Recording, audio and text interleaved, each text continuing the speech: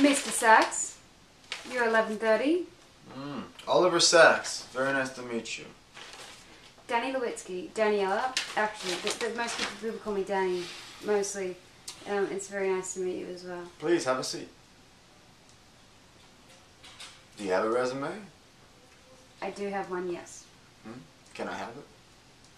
Uh, you can absolutely. It's just that I got a little coffee spill that I'm trying to draw. I kind of saw someone, and I, I didn't expect to see them, and I kind of. Is it legible?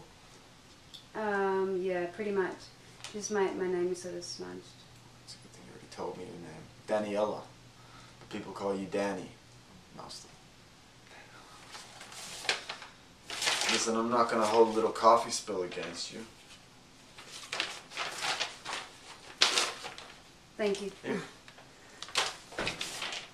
I know I don't have a lot of professional experience, Listen, a word of advice.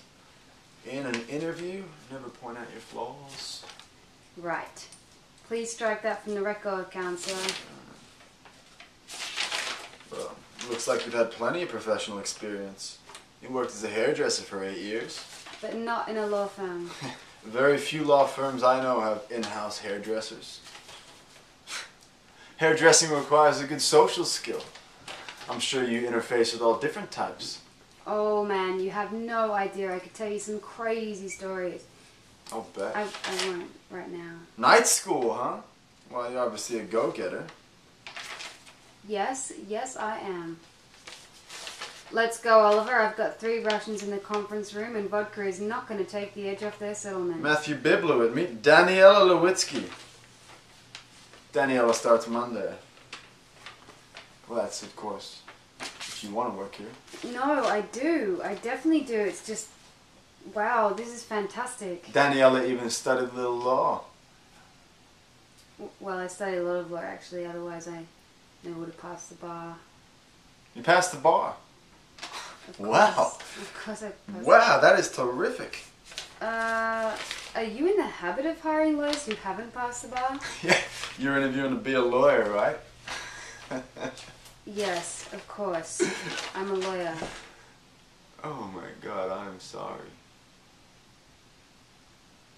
I thought you were interviewing for the assistant position. Andre just called and told me that she won't be coming back after maternity leave, so I. Oh, I'm sorry. Uh, There must have been a miscommunication. Yeah, right. A, uh, a miscommunication. Okay, well, um, well, thank you for your time. Need a ride? Come on, you can't walk. Watch me. Danni, They're lying to my face. people lie. Really? And what's even worse, you know it. Listen, I only know what my clients tell me to know. You make me sick. You're taking this personally. First rule take nothing personally. Thank you. I'll keep that in mind. Second rule never say you don't want to sue. Once you said that, you've lost your bargaining chip. Is that all? No. One last thing don't refuse a lift when you've broken your heel. You know, that's good advice, actually. I think so. And it's stupid to say you won't sue, huh? Even if you don't want to, they, they gotta think you want to. Keeps them scared. That makes sense. So listen to me very carefully. Tell your clients that thanks to their arrogant, smug, jerk-faced lawyer, they're being sued.